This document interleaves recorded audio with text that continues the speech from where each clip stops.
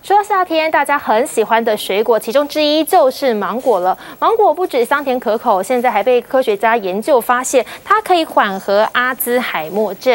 因为其实啊，过去在中医里面呢，就有相关的医学记载。他说芒果呢，可以呢减缓哮喘及壮阳，甚至呢腹泻、晕船，吃芒果也都是有它的作用的。还有人呢，把芒果汁当做鼻窦炎的。滴鼻剂哦，那么科学家现在也发现说啊，因为芒果里头含有这个成分，也就是植化素，它可以对抗神经炎。因为像是啊阿兹海默症和帕金森氏症，都是因为呢神经发炎长期下来的累积，导致呢神经退化。所以吃了芒果之后呢，它这个植化素呢可以神减缓神经发炎和退化疾病，可以消除或中和，甚至呢帮助组织再生哦。那包含像是呢果皮啊果核。果肉它都有一定的效果，所以呢，现在科学家也一直在研究说要怎么样来利用芒果呢？包含像是啊抗菌、镇痛、抗炎跟抗肿瘤，他们都认为有可能呢是可以来研究有没有效的。而且芒果有一个好处哦，因为它是天然的，所以呢相对来讲也是比较安全的。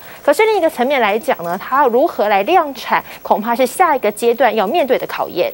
请订阅、按赞、分享 TVBS 新闻频道，并开启小铃铛。也请下载 TVBS 新闻 APP，随时掌握国内外大事。